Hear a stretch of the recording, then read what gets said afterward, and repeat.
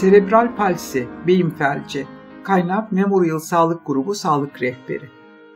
Bebeklik döneminde ortaya çıkan ve halk arasında beyin felci olarak bilinen serebral palsi, çocukluk çağında görülen özürlülüğün en büyük nedenini oluşturur.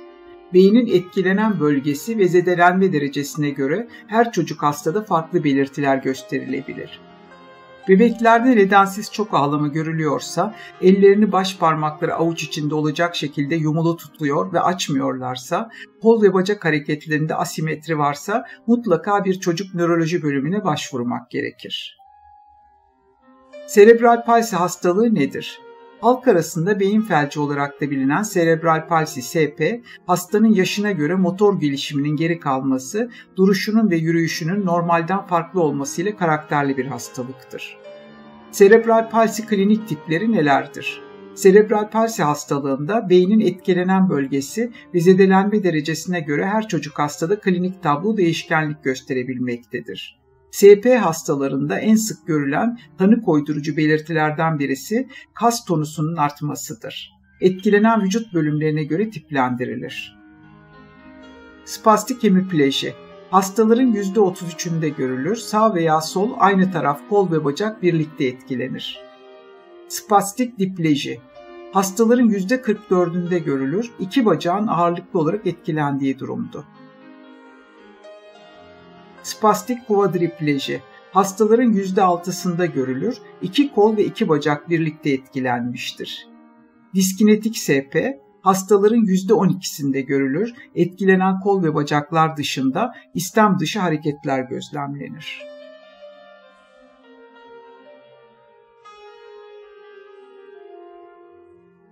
Serebral palsi sebepleri nelerdir? Gelişmekte olan beyinde çeşitli nedenlerle oluşan ancak ilerleyici, kötüye gidici özelliği bulunmayan bir zedelenmedir. Bu beyin zedelenmesinin gebelik döneminde, doğumdan hemen önce, doğum sırasında veya doğumu takip eden 3-5 yıl içerisinde olmuş olması gerekmektedir. Bu dönemlerden sonra oluşan beyin zedelenmeleri SP nedeni olarak kabul edilmemektedir. Gebelik öncesi nedenler.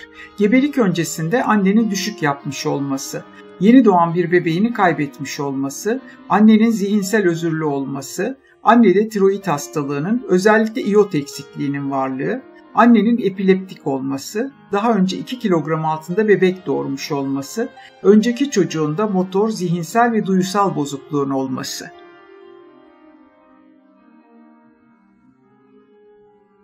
Gebelik süreci Çoklu gebelik, annenin epileptik olması, nöbet geçirmesi, gebelik toksemisinin varlığı, ayaklarda ödem hipertansiyon, intrauterin gelişim geriliğinin bulunması. Doğum eylemi, prematüre doğum, bebeğin ters gelmesi, doğum asfiksisi. Doğum sonrası enfeksiyonlar, uygun koşullarda yapılmayan doğum, doğum sonrası bakım, intrakraniyal kanamalar, K vitamini eksikliği, sarılık değerinin çok yüksek olması ve takibinin yapılmaması, travmalar. Serebral palsi hastalığının erken belirtileri var mıdır? Ne zaman endişelenip doktora başvuralım? Bebeğiniz gereksiz yere çok ağlıyor, mutlu etmekte zorlanıyor, susturamıyorsanız, ellerini baş parmakları avuç içinde olacak şekilde yumulu tutuyor ve açmıyorsa, bir yaşından önce bebeğinizin sağ elli veya solak olduğunu düşündürecek şekilde el kullanımında asimetri varsa, kol ve bacakların hareketlerinde asimetri varsa, başını yeterince dik tutmuyor, sizi görünce izlemiyor, gülümsemiyorsa en yakın çocuk hekimiyle görüşmeniz uygun olacaktır. Serebral palsi tanısı nasıl konulur? SP tanısı beklenen zamanda başını dik tutmayan, desteksiz oturmayan, ayakta durması, yürümesi olmayan bebeklerde öncelikle izleyen tecrübeli hekimin şüphelenmesi ve yönlendireceği çocuk nöroloji uzmanının muayenesi ve gerekli göreceği tetkiklerin yapılması ile konulur. Uzman bir hekimin ilk muayenesinde yürüyüşünden bile SP tanısı konulabilirse de beyin gelişiminin 2 yaşına kadar çok hızlı olduğu hatta 5 yaşına kadar motor gelişimde çok olumlu gelişmelerin olabileceği göz önüne alınarak tanı koymakta acele edilmemelidir. Serebral palsi tanısı konulabilmesi için hangi tetkikler istenir?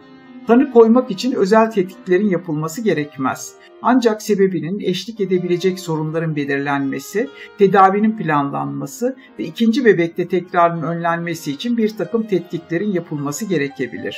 Yapılması gereken tetkiklerin başında beyin gelişimini, zedelenmeyi gösterecek olan beyin MR görüntüleme yöntemi gelmektedir. Bunun dışında gerekli görülecek kan ve idrar tetkikleri yapılabilir. Serebral palsi tedavisi nasıl yapılır?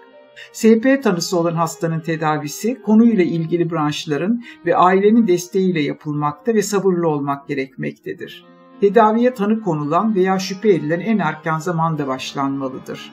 Tedaviyle ilgili olarak izleyen hekim yol gösterecek gerekli gördüğünde çocuk hekimi, çocuk gelişim uzmanı, sosyal hizmetler uzmanı, çocuk nöroloji uzmanı, fizyoterapi uzmanı, psikiyatri uzmanı, ortoz uzmanı, ortopedi uzmanından görüş ve destek alınacaktır. Fizik tedavi ve rehabilitasyon uzmanları ve fizyoterapistlerin hastaların uzun sürecek tedavisindeki rolleri çok önemlidir. Sıklıkla kaslarını gevşetmek, fizik tedavisinin daha rahat yapılabilmesi için ağızdan ilaç kullanılması gerekebilir. Özel durumlarda botoks tedavisi ve kas gevşetme operasyonları planlanabilir. Serebral palsi, SP tamamen iyileşir mi? SP tanısı konulan bir hastada beyinde oluşmuş olan zedelenmeyi tedavi etme imkanı şimdilik bulunmamaktadır beyindeki nöron adını verdiğimiz sinir hücrelerinin kendilerini yenilemedikleri bugünkü bilgilerimiz dahilindedir. Ancak komşu sinir hücrelerinin fonksiyonları üzerine alması olasılığı nedeniyle erken başlanacak olan tedavinin büyük önemi vardır.